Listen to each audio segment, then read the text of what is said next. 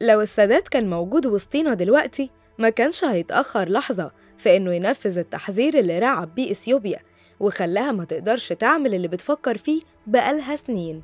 وليه لأ؟ ما كلمته واللي عمله وقتها كان خط أحمر ليهم. فيا ترى إيه اللي السادات عمله مع إثيوبيا؟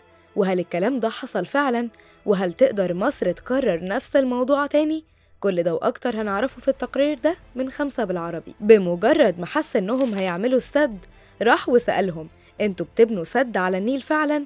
قالوا له لأ ما حصلش الكلام ده رغم إنهم كانوا بيبنوا سد بشكل سري لكن لما عرف إنهم بيبنوه فعلا وكذبوا عليه راح بعت طيارة قصفت السد بتاعهم ودمرته فهم راحوا يشتكوا لمجلس الأمن وقتها بإنه اعتدى عليهم ودمر السد بتاعهم فرد عليهم وقتها وقال هو مش أنتوا قلتوا إنكم ما بتبنوش سد ولا حاجة على النيل يبقى اتقصف إزاي؟ وهو مش موجود أصلا زي ما بتقولوا. دي ملخص الحكاية اللي كتير من المصريين تداولوها على مدار السنين عن اللي عمله الرئيس الراحل محمد أنور السادات مع إثيوبيا لما فكرت تبني سد على نهر النيل زي سد النهضة اللي بيبنوه فعلا دلوقتي. ورغم إن الحكاية دي كانت مصدر فخر وابتسامات عند كتير من المصريين لكن مع ذلك مفيش أي إثبات تاريخي ليها زي ما أكد رئيس جهاز الاستطلاع الأسبق بالمخابرات الحربية.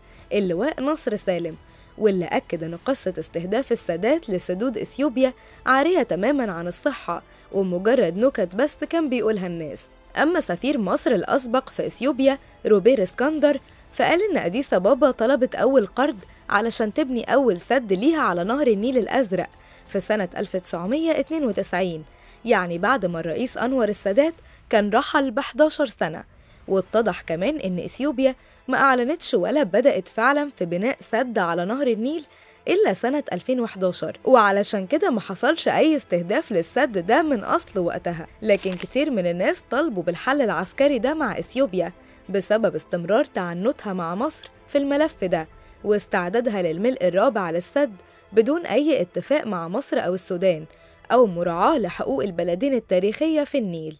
وده اللي خلى كتير من الناس تفتكر التصريحات والمواقف اللي أعلنها الرئيس السادات زمان بخصوص إثيوبيا لما قال بعد توقيع اتفاقية كامب ديفيد سنة 79 إن المية هي القضية الوحيدة اللي ممكن مصر تدخل مواجهة بسببها مع أي دولة. كمان السادات كان ليه رد حاد جدا ضد إثيوبيا لما حاولت تشتكي مصر لمنظمة الوحدة الإفريقية سنة 79 بعد ما انتشرت أخبار وقتها إن مصر ممكن توصل مية لسينا وتوديها للي ما يتسموش وده ضمن شروط المعاهدة بيننا وبينهم ورد السادات عليهم بخطاب عنيف وقال لهم إذا حصل وقامت إثيوبيا بأي حاجة تعوق وصول حقنا في المية فمش هيكون في حل قدام مصر غير القوة فهل يتحقق توقع السادات بعد رحيله بخمسين سنة؟